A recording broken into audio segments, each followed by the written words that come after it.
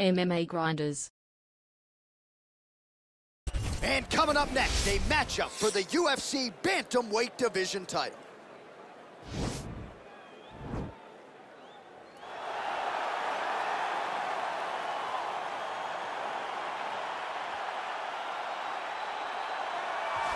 So here's the number one bantamweight contender making his way to the octagon. Got to be some nerves here as he gets set to compete for the UFC bantamweight title. No denying he deserves to be there. He's got the requisite win streak. He's got the finishes. He's got the popularity, the fan support. Now he needs the championship performance. We'll see if he has what it takes to unseat the incumbent.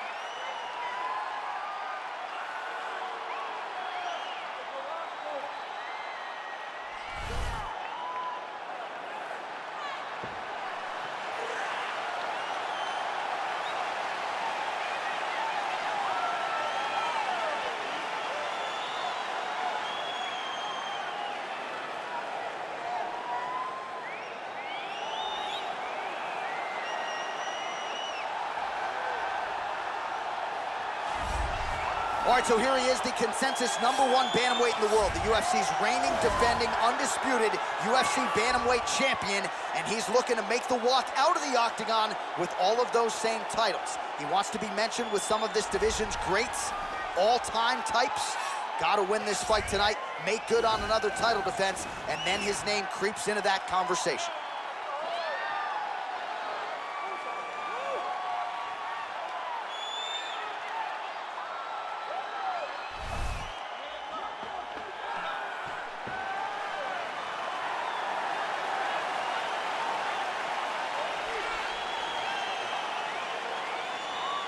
Our tale of the tape for this, our main event of the evening.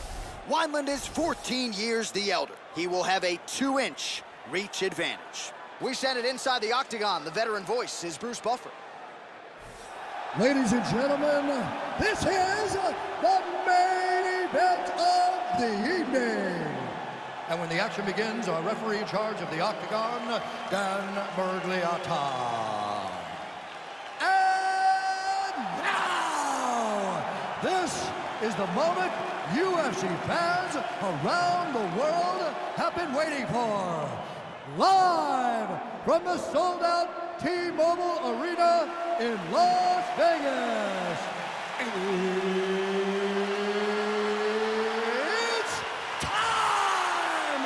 Five rounds for the undisputed UFC Bantamweight Championship of the world. Introducing first, fighting out of the blue corner. This man is a kickboxer, holding a professional record of 24 wins, 16 losses, and one draw. He stands 5 feet 7 inches tall, weighing in at 135 pounds. Fighting out of Chesterton, Indiana, presenting the challenger, Eddie Wineland.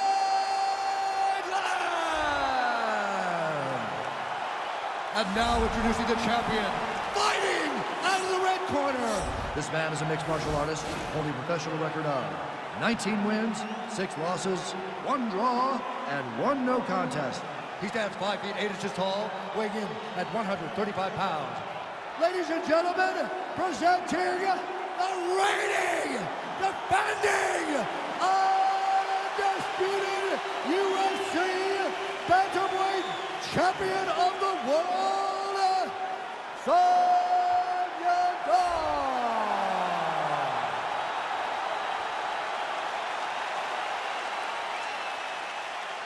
All right, this is for the UFC Championship. I want you to obey my commands at all times, protect yourself at all times. Want a nice, clean, safe fight. Touch gloves, back your corners, do not fight.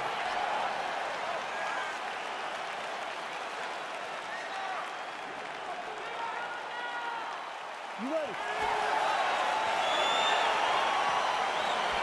You ready?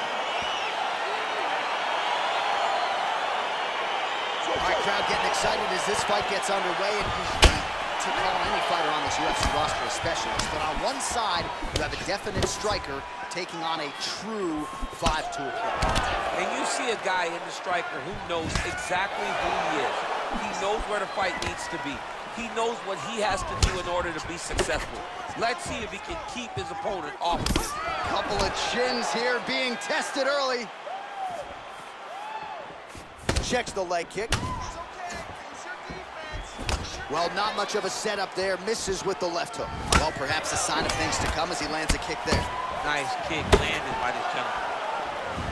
Look at him drive his shins into his opponent's body with that body kick. Big, powerful punch lands. Now he gets back to range.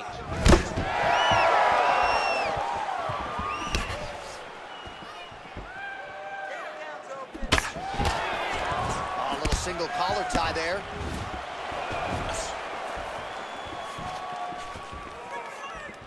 Looking to land the right just out of range.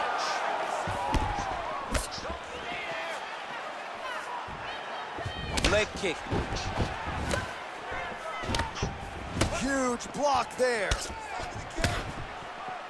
Straight right hand, no good. Nice. Oh, single collar tie here.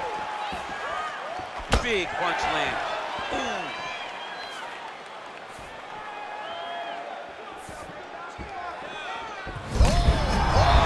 Dude's hurt. Serve him up. Go get him.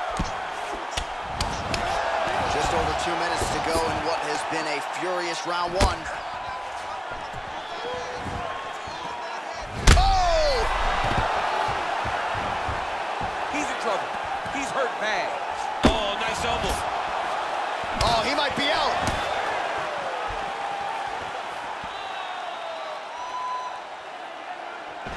Big punch lands over the top. How's he gonna follow this one up? Nice jab, follows it up with a nice right hand. Whoa! He needs to start looking to finish now because he's got his opponent hurt very bad. So under a minute to go here in what has been a competitive and action-packed first round.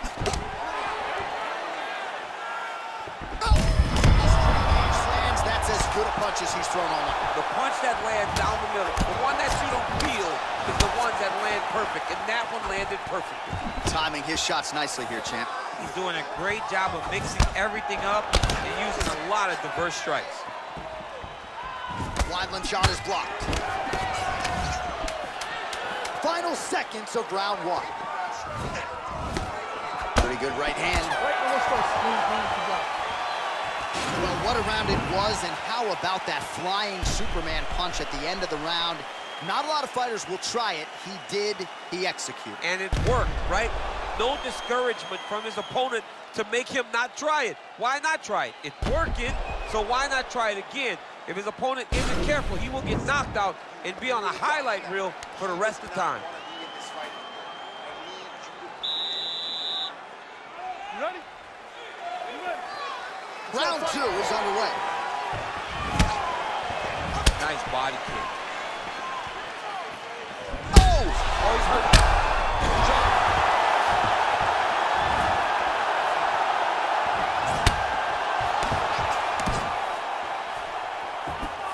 Well, he has landed some good shots, DC, but really unable to string anything together in terms of solid combinations. It's because he's not committing to it fully.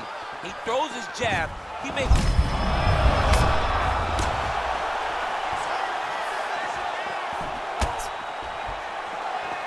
You don't know when that leg kick's coming. Oh, that's a nice strike. Back and forth we go! Oh, tags him with the left, so the right hand has been there, now he goes left hand. When you're able to fight from both sides, you become really dangerous. Look at him yank the head and land that beautiful punch from the clinch. Just over three minutes to go. He blocks the punch. Well, he was a little bit lackluster in round one. You can't say the same here in this second round. He has really picked up the pace, an uptick in the aggression and the output, and starting to find his range here in the pocket. And he lands a punch there. Pretty good connection by him. Great connection. He's in a great flow right now. Just out of range with that left hook. Look at him dig that body shot right up through his opponent's throat. Right there, DC, he's rocked. That was a beautiful hook. It landed perfectly, and it hurt his opponent very bad. straight right. Just out of range with that right hook. Now goes in and secures the takedown. All right, he's trying to control posture here. Now trying to hip escape. He's just trying to move out of this position off the bottom. Back to the stand-up now, both fighters upright. Spinning back fist is there. Oh! What a fantastic strike to throw at the exact right moment. Oh, yeah! Oh, nice. Nice.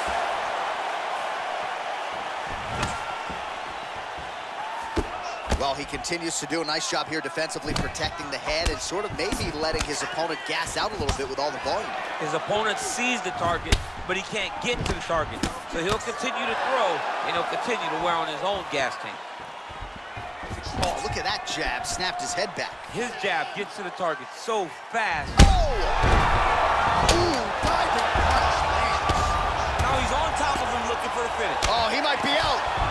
Round three next.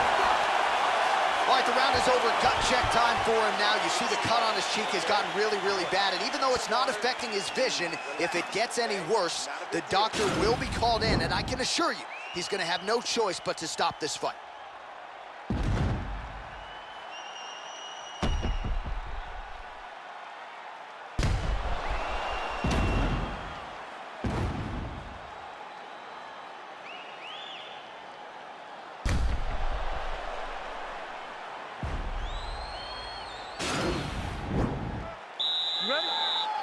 You ready? Let's go Here we go, third round of this championship fight. Big kick lands. Straight right hand now just misses. Well, he hasn't really showed any signs of slowing down tonight. He continues to connect on a high volume of strikes here. Straight punch lands.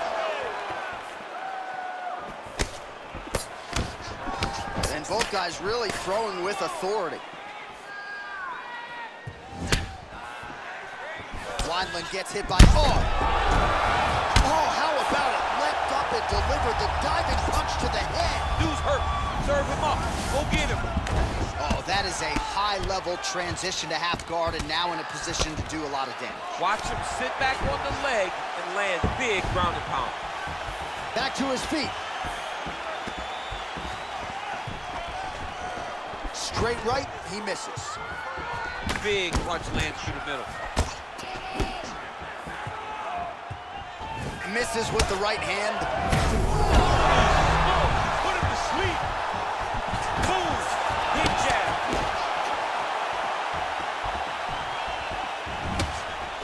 Oh!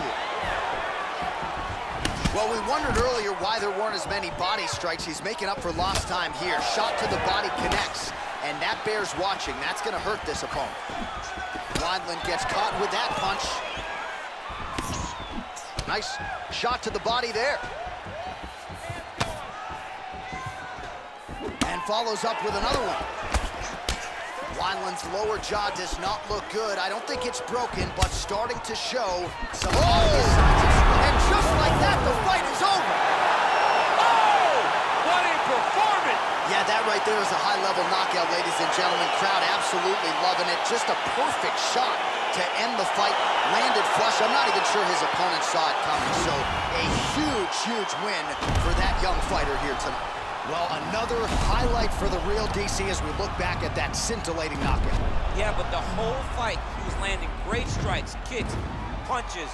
He was doing everything right until eventually he found the shot that ended the fight. Ladies and gentlemen, referee Dan Miragliotta has called a stop to this contest at 3 minutes, 5 seconds of the third round. Declaring the winner by and new undisputed UFC bantamweight champion of the world, Eddie All right, so there he is, the new UFC Bantamweight champion. We asked him in our fighter meeting on Thursday about the belt, and he said, you better get my size right because gold jacket, green jacket, whatever it is, I'm going to be the champ tomorrow, and here he is. He knew, he knew He willed it into existence. He trained hard. He prepared himself to be the best in the world. And tonight,